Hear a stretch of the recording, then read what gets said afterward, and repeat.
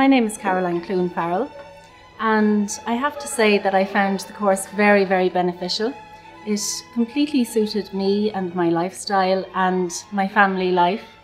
I'm self employed and also a mother of four young boys, and I have to say that I was perhaps full of trepidation at first, and I was unsure how I would cope um, with all of my own um, circumstances and how I would manage the workload.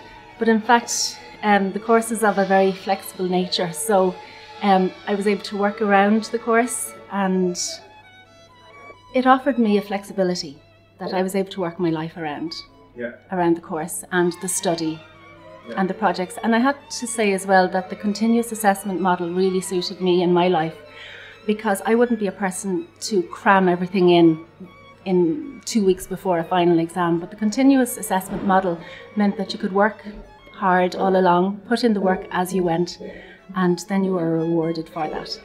Um, aspects of the course were challenging. Um, I think maybe teaching practice was the most challenging part, but um, the tutors that we had and the supervisors were extremely supportive all along. I have to mention uh, the supervisors that I had myself were absolutely fantastic and they helped keep us going. Um, but the challenge, I suppose, was is that you learn a lot on the course and it's about putting all of that theory into practice.